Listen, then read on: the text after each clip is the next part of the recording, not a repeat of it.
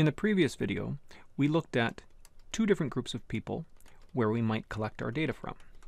So we either had a population, which was all individuals of interest, or we had a sample, which was just a group um, a group of individuals that were taken from the population. So not all of the population, just some of the population, a section or a group taken from the population.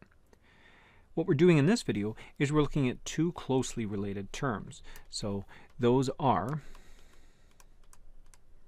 parameter and uh, and statistic or we could call them parameters and statistics. And what these do is they each describe their corresponding group. So parameters, they a parameter is a characteristic, oops, characteristic of a population. Whereas a statistic or statistics, these are characteristics of a sample. Okay, so uh, let me uh, just clean this up a little bit. Keep the okay. So characteristic of a population or statistic is a characteristic of a sample. So what I mean by this is when I say a characteristic is um, when you've when you've performed your survey or your study or your research, you're going to get some results and you'll use those results to describe characteristics of either pop either the population or if you only had a sample of the sample.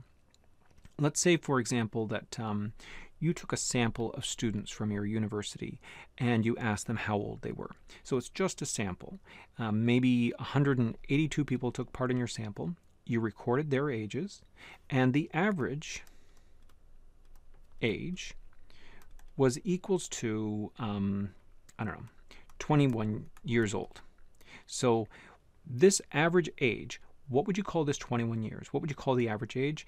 It would be a statistic because it's a characteristic not of the population, but it's a characteristic of a sample of people. Now, the same thing could have been done if you had the entire population. Let's say that you work um, in the dean's office or in the registration office. So you actually have access to every single individual's profile uh, that goes to the entire that goes to the university. So you've got uh, tens of thousands of of um, profiles of people that that attend the university. Then you could get it still an average age.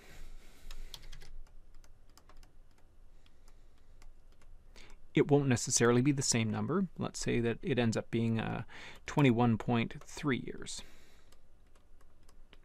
Now, what is this value here? What is this average age? Well, because it describes the characteristic of the entire population, it's called a parameter.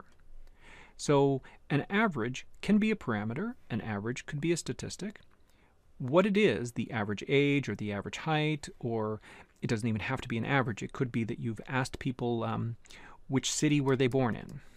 And so the most common answer might be Toronto for the entire population. But in your sample, maybe uh, the city was, um, I don't know, Mississauga. This answer is either a statistic if it was describing the sample, or this answer is a parameter if it described the population. So parameters give us a characteristic of the population, statistics give us characteristics of a sample. So that's the basic definition. So why is the course called statistics? And why not parameters? Well, we're interested primarily in parameters. We want to be able to make comments about a population. Let's say, for example, um, there's a drug company that comes out with a new drug.